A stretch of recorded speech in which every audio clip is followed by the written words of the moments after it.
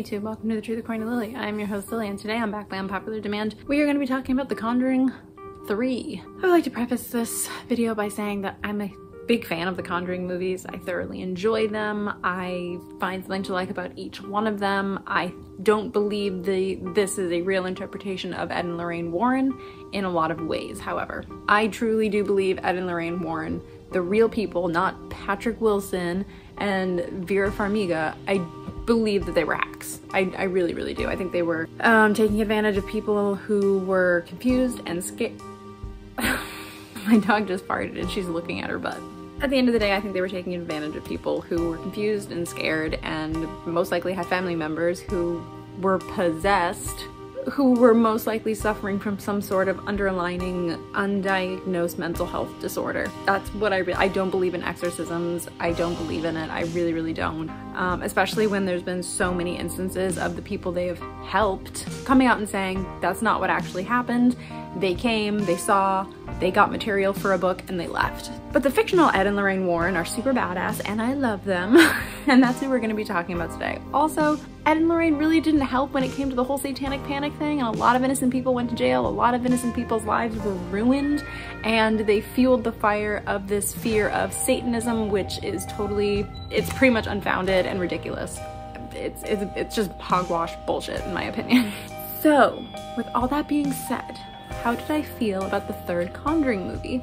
Well, you can definitely tell James Wan didn't direct it. This was not as scary as I feel like it was hyped up to be. I feel like it, it, wasn't as scary as the first one and it definitely wasn't as scary as the second one. But I haven't seen The Nun, I've heard mixed things, but The Nun in Conjuring 2 was terrifying. It literally gave me nightmares. now that's not to say that the director of the Conjuring 3 did a bad job. If, I, if I've ever seen anything he's ever done, I can't think of it off the top of my head. But I, I don't think he did a bad job per se. It's just there's, there's some really scary moments in The Conjuring 3, but they're overshadowed by this. He extends the suspense too long, if that makes any sense. Like, like the scene when Arne is looking through the hole in the wall you're just waiting and waiting and waiting and, waiting, waiting, waiting, waiting for something to happen and nothing happens. And by the time some the, the scare does happen, I didn't, I was just like, oh, okay. I like, I knew that was coming, but it just kept going and going. And my adrenaline dropped back down to normal.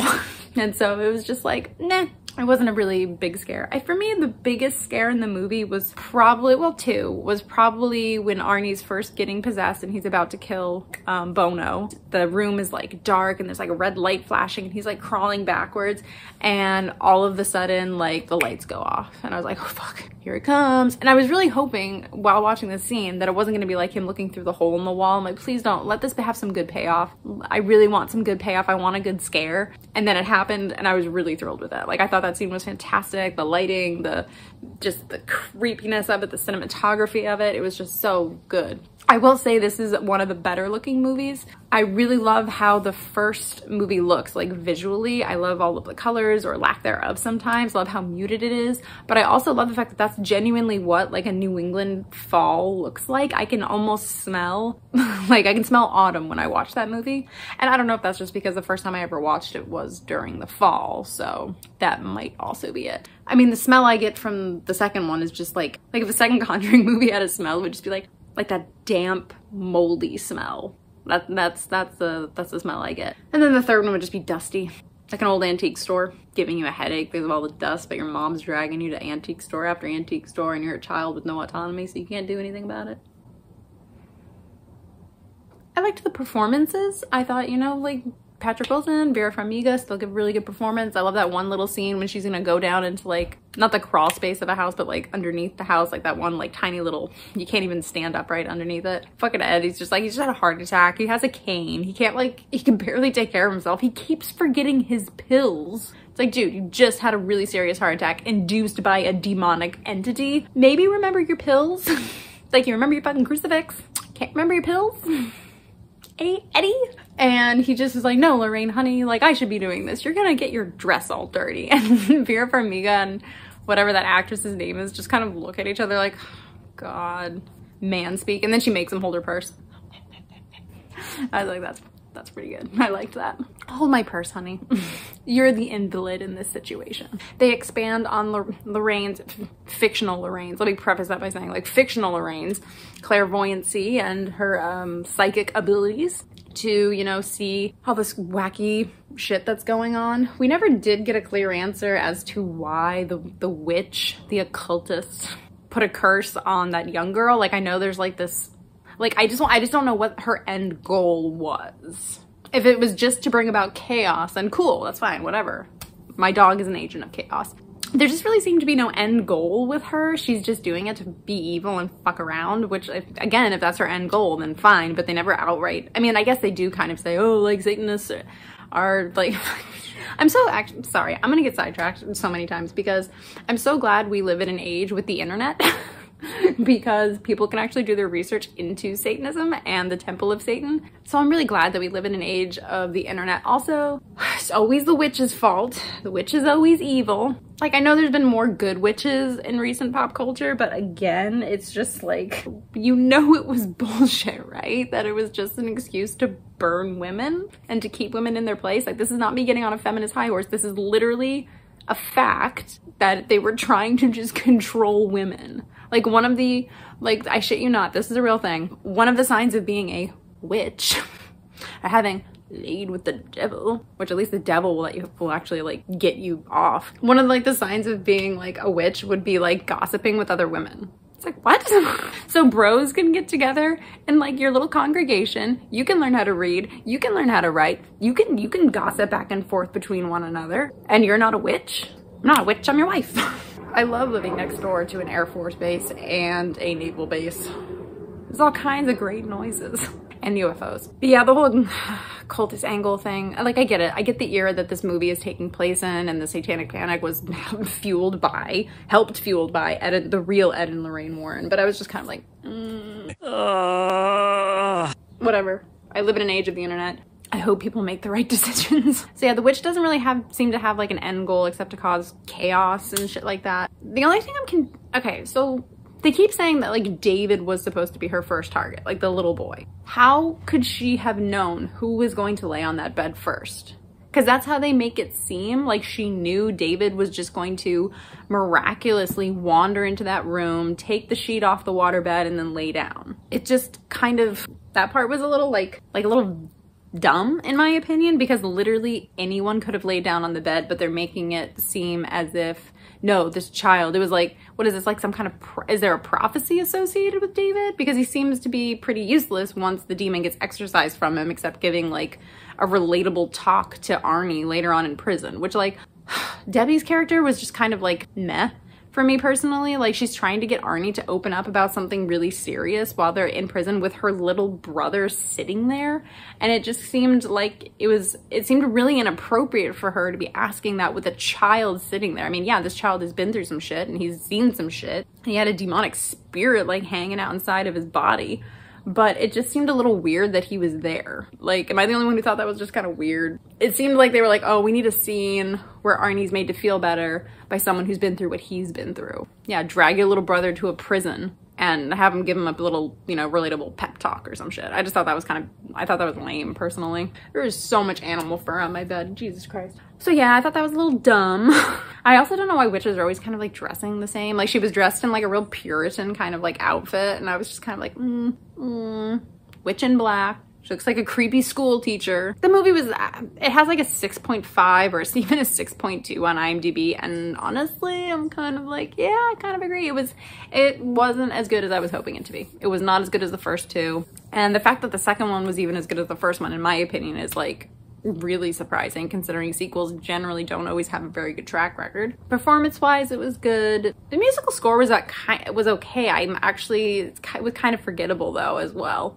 The director, while he made some decent choices that I really liked, he made way too many errors with suspending the, the, with extending the suspense to the point where it just wasn't scary. Like like the the moment was gone. Like he missed his moment so many times. Yeah, I thought the the morgue scene was kind of creepy. Um, but also like hugely inappropriate. They're just breaking into a morgue. Like, guys, I know we're on a time crunch, but. And then the priest turning out to be her father was just kind of lame too. I'm just like, yeah, okay. Like, you're either gonna be super evil or the father of this super evil bitch. Plus, it seemed kind of obvious that a witch would turn out to be a priest's father. I feel like that's a, I don't know if that's a trope actually, but it seems like it would be. That's how I feel about The Conjuring 3, The Devil Made Me Do It. As a quick aside, I understand that mental health does play a part in real life to a lot of things that in the past people simply just didn't understand. People didn't understand epilepsy until like a few decades ago or maybe a little bit more than that. But you know what I mean? It was just like they were put, these people who were exhibiting unusual behaviors were put in a box or they were just hidden away from society because they didn't fit the norm. While I do like the Conjuring movies, the third one aside a little bit, Arne killed someone. He straight up killed someone. And we will never probably know the reason why. I listened to a podcast recently actually about this when I heard that the third movie was actually going to be covering this case and I was curious so I listened to a I think it was a Crime Junkies podcast and it was it was a good podcast but he just straight up killed this guy and I don't remember off the top of my head the circumstances of when he said that he didn't remember doing it. Now I don't I don't necessarily not believe him when he says he doesn't remember. People black out and they they still do things. Their body is still doing things, their mind is still doing things. They're just blacked out. But I think people like Ed and the real Ed and Lorraine Warren come along, they take advantage of people and they plant this idea in their head that removes all responsibility from the person who committed the crime. And I don't like that. I really, really don't. I think that's insulting to um, victims' families that the person who took their loved one from them gets a free pass because the devil made him do it. I'm sorry. Maybe that makes me sound really heartless, but I think it's hugely and grossly inappropriate for people like Ed and Lorraine Warren to pray, and I'm saying that, to prey on people who are vulnerable and don't necessarily understand why they did what they did, but still need to be held accountable to an extent, whether that's in pleading guilty for reason of insanity, which we all know is taken advantage of in the legal system all the time. It leaves a bad taste in my mouth. And I hope I'm not the only, only one who feels that way. I really hope I'm not the only one who, when I watch the Conjuring movies, is fully aware that these were not, these are not the real people. Not just because they're played by actors. I mean, everything that's being portrayed is based on true events. But do you really think Lorraine Warren fought an evil nun in England? Because I don't. I think they showed up at Amityville with preconceived notions, having seen everything on the news, and projected.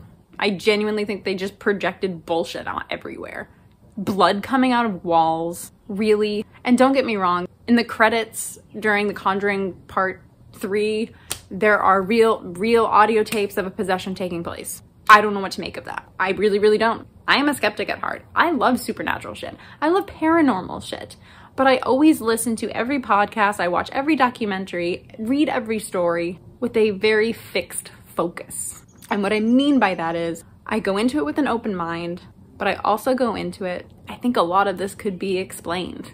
I think a lot of this could have a scientific explanation. I again, I just think it's it's in poor taste, it's in bad form, and it's bad manners as a human being to put something in people's heads that excuses the behavior of someone who genuinely committed a crime. We didn't do that with Ted Bundy. Nobody came along and said, oh, hey, Ted Bundy was probably being possessed by the devil. Maybe we should hear him out. Nobody did that with Jeffrey Dahmer. And maybe it's because Arne said that he blacked out and couldn't remember what happened and didn't, and just came to and he was covered in blood. We will never actually know. The only person who knows is Arne. Literally is the only person who knows. So I would just like people to, to think of that side of things a little bit because that's what I think about. I think about, was he mentally ill, blacked out, and took a life? Or did he just want to, you know, get away with it and say that the devil made him do it? I think people like Ed and Lorraine Warren are and were suspicious. We had more to fear of them. But they're really good movies. With the exception of the third one, which is just... The third one is okay. The third one deserves its IMDb rating. That's all I gotta say about that. Thank you for watching this video. I hope you have a wonderful rest of your weekend and live long and prosper, peace and long life, and stay tuned and turned on for more. Do you like my little art? I made it today. Not the wood. I bought the I bought the wood. Like the frame already came pre-made. But I got all the everything else. I got things. I painted these. I painted these. Your girl's an artist.